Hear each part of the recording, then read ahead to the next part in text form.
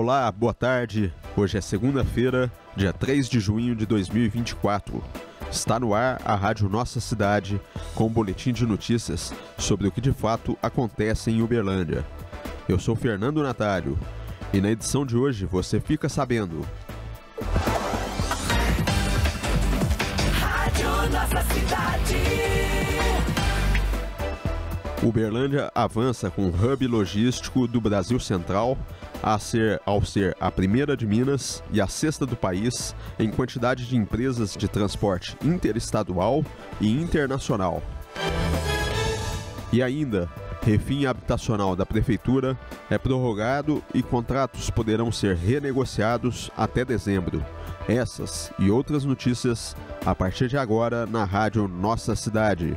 Vem com a gente!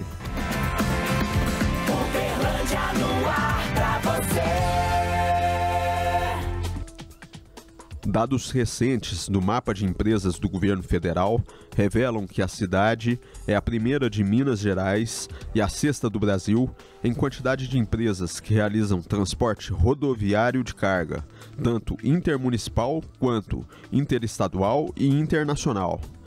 O município fica à frente de capitais como Belo Horizonte, Brasília, Goiânia, Salvador e Manaus.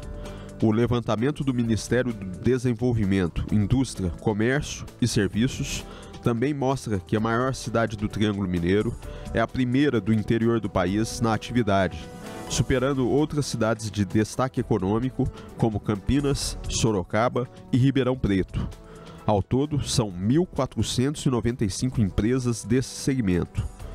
O status de Uberlândia como hub logístico é corroborado e potencializado pelas políticas públicas da Prefeitura de Uberlândia, desenvolvidas durante as gestões do prefeito Odelmo Leão.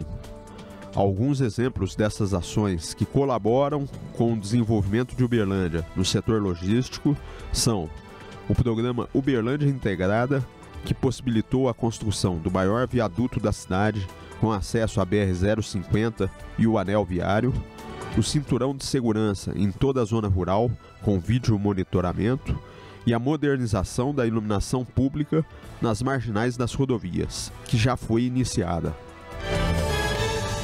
Refim habitacional da Prefeitura poderá renegociar contratos até dezembro.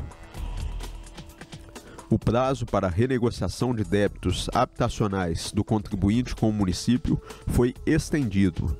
Com a aprovação e sanção de projeto de lei de autoria da Prefeitura de Uberlândia na última quarta-feira, a Secretaria Municipal de Habitação poderá atender até o final de dezembro quem possui débitos vencidos e a vencer relacionados aos programas habitacionais municipais instituídos no passado. Além disso, os benefícios agora abrangem parcelas vencidas até o dia 30 de maio. Cerca de mil negociações já foram efetivadas. O Refim Habitacional concede descontos sobre juros e multas das parcelas de todas as dívidas do Tchau Aluguel, Lote Fácil, Casa Fácil, Assentamento da Paz, Uberlândia Viva, Ação Moradia, Entre A Casa é Minha e PSH. O setor de atendimento da Secretaria Municipal de Habitação fica no térreo do Bloco 2 do Centro Administrativo Municipal e o atendimento vai de segunda a sexta-feira, das 8 da manhã às 5 da tarde. Não é necessário agendamento, mas é preciso portar documento de identificação válido. Vamos a um breve intervalo e na volta tem giro de notícias.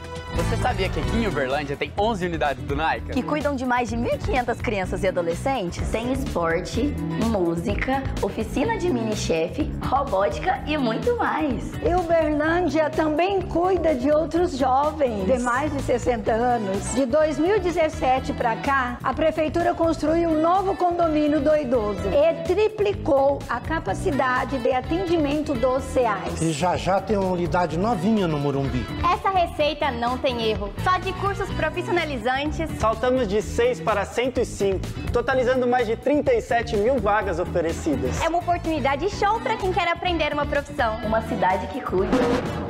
É uma cidade que faz. Giro de notícias. Está chegando a 17ª corrida de revezamento Uberlândia Romaria.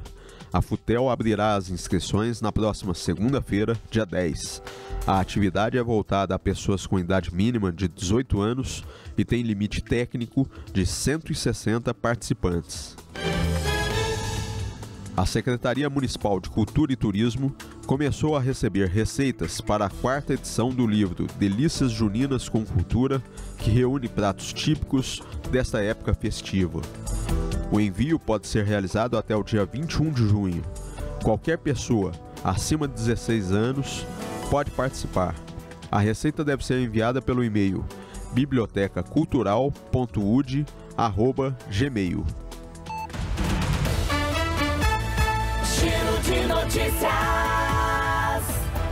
A edição de hoje fica por aqui. Obrigado pela sua audiência. Edição Daniela Aires. Tradução em Libras Amanda Valentim. Responsável técnico Cristiano Silva. Secretário Municipal de Governo e Comunicação Marco Túlio de Castro Kalimann. Prefeitura de Uberlândia.